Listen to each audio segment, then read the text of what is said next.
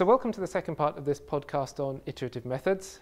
Uh, in the first part, I uh, showed you three different methods uh, that we might use to calculate the square root of 2 uh, numerically. And we found that the first two uh, just didn't work. Uh, the answers diverged, whereas the third one, our sequence of answers got closer and closer to, the, to what we wanted.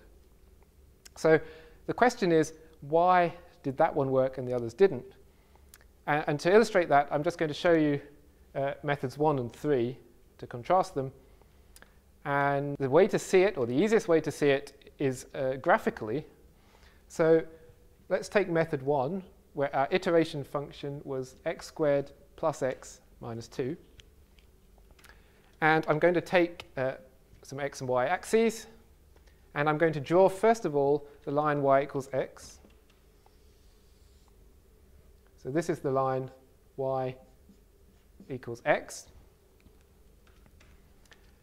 And then I'm going to draw, or sketch at least, the graph of g of x. So you should know how to sketch a quadratic. Uh, well, g of x, uh, let's look for the turning points of this, or where is the turning point of this quadratic? Well, g dashed, the derivative of g dg by dx, if you like, is just 2x plus 1. And you can see that that will be 0 when x is minus a half. So this quadratic will have a turning point at minus a half. And we can see it will intersect the y-axis if we put x equals 0 at minus 2. So its graph will be something like this. And this is the graph of, well, y equals g of x. Now there's a special point in this diagram, and that's where these two curves intersect. And this point is no other than x star, our solution we're trying to find, right? Because remember I said that in the previous uh, video that x star has to equal g of x star. So this point here is x star, uh, which is root 2, right? So what happens when we do the iteration? Well, you can think of it like this. We start with a point x naught, and the first thing we do is calculate g of x naught. So graphically, that means that we go up vertically until we hit the curve g of x at the point g of x naught. Then we have to say x1 is g of x naught. So if you think about it a bit, that corresponds to horizontally coming across until we meet the curve or the line y equals x. So we come across horizontally, and then this value of x will be equal to that value g of x naught. Then we calculate g of x1. So we take this x1 and we find where g is. And this point here is g of x1. We go across, that tells us x2. We calculate g of x2, go to x3, and so on. And you can see quite clearly that this thing is getting further and further away from the solution where we want to end up. And that was indeed what we saw before uh, with the calculator. So what's different in this method 3? Well, I'm going to again draw my line y equals x. And now I have to draw my curve g in this case. Uh, well, this is a little bit harder to sketch, x over 2 plus 1 over x. But again, I'm going to find the turning points of this function. So g dashed is going to be derivative of x over 2, which is a half, plus the derivative of 1 over x. So this is x to the power of minus 1. So it's minus 1 over x squared. So I can uh, tidy this up a little bit, write it as a single fraction, x squared minus 2 over 2x squared. And you can see from this that this thing is going to have a turning point where the numerator is 0. In other words, at the point root 2. So at our x star point itself, this function is going to have a turning point. So here's our x star point. And this function has a turning point. Now, if we take uh, the value of g as x goes to 0, then this first term goes to nothing, but the second term will blow up towards positive infinity.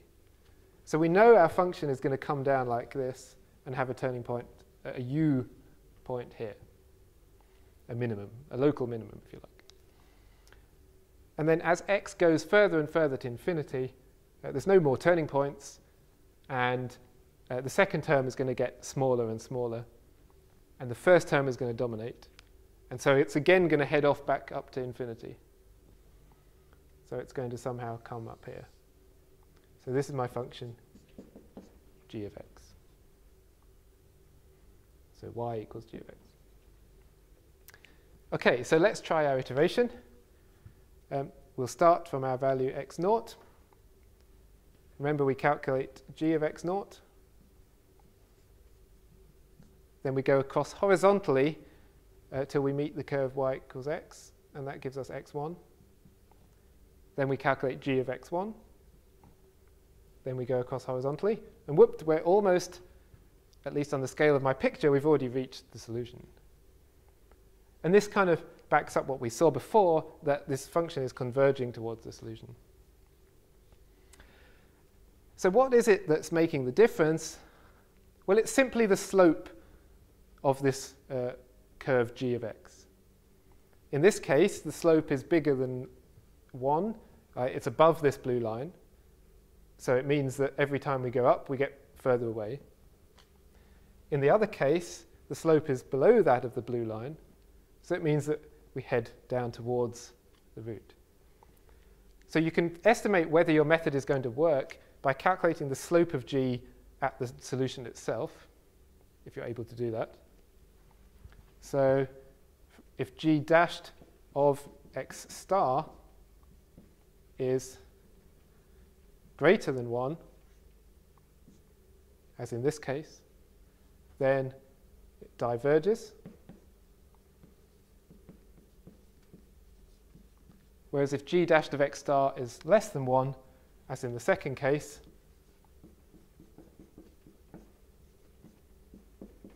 then it converges. So this is a rule, if you like, that will tell you whether your method that you've thought of is actually going to work or not. So the last thing I want to talk about is something called the Newton-Raphson method that you may well have seen during your A-level studies. And uh, this is a method for solving equations of the same type we've been looking at, f of x equals 0. And the formula you might know is that you calculate the next uh, estimate by subtracting f divided by f primed, where f primed is again the derivative of the function f. So it's kind of a general purpose method uh, for any function f, uh, providing that the derivative is non-zero. Because if the derivative was zero, you have to divide by zero and you get in trouble. Um, but we can write this in the same way that we had our iterative methods before. Um, this stuff on the right-hand side is just the function g. So g, g of x for this method is x minus f of x over f dashed of x. And you can see from this that g of x star, if you put in x star, is x star minus f of x star over f dashed of x star. But f of x star is 0, because x star is the solution. So this numerator here is 0. So g of x star is equal to x star. So it satisfies that required property that we had at the beginning. Uh, does it work? So we remember we also found that for it to work, we need its slope, g, g dashed, to be less than 1. So what's the slope here? Well, we have to do some differentiation, we've got to differentiate g. We know the derivative of x is 1. Then we have to differentiate this quotient. And you hopefully remember that we need to use the quotient rule to differentiate this. And the quotient rule is uh, on the top, you put the, the bottom times the derivative of the top. I don't know how exactly you remember this. Uh, and then you subtract the top times the derivative of the bottom, and you divide by the bottom squared. So just for economy, I've left out all the x's here, but they're still there really. Now this can simplify a bit, right? Because here we've got f primed squared divided by f prime squared. So if we split up this fraction into two terms, we'll get a minus 1, which will cancel out this one. So we'll end up with minus times minus, so plus f of x, f double primed of x, over f primed squared of x. So what, remember what I said we should do is calculate the slope at the solution x star. Well, if we put in x star into this formula, we're going to have an f of x star multiplying it, but f of x star is 0. So this derivative is going to be 0. So what this tells us is that this, this um, method is very flat. This function g is very flat near to the solution. And that means that the convergence is going to be very quick. It's going to work very well. So essentially, that explains uh, why this Newton's method is so popular, uh, because it has this very good property uh, that it converges very quickly. So the very last thing, let's try and uh, see what this Newton method gives us for our problem of finding root 2. Well, in our case, we have g of x is equal to, uh, well, x minus f of x, which remember was x squared minus 2 in this example, divided by f prime of x, derivative of that, 2x. Okay, so we can simplify this. Um, we split up the fraction into 2. We're going to take away minus x over 2, and then we have a minus times a minus plus, and then 2 over 2, 1 over x. And if we simplify this even further, this is x over 2 plus 1 over x. And you might recognize, hopefully, that this is exactly our method 3 that we just had earlier on. Uh, so it's not surprising that our method 3 works so well uh, because it has this property of g dash equals 0. And in fact, uh, this method, uh, far from being invented by Newton in the 17th uh, century, was invented by at least uh, the ancient Babylonians in about 2,000 years BC, because we have evidence in a, a, stone tablet that they used this formula to calculate the uh, square root of 2. I think it was to about six decimal places in the uh, evidence we have. Um, of course, the ancient Babylonians didn't use base 10, so they, they used base 60, uh, but that's an entirely different story. Uh, so there's a long pedigree to these numerical methods, but people are still using them uh, all the time.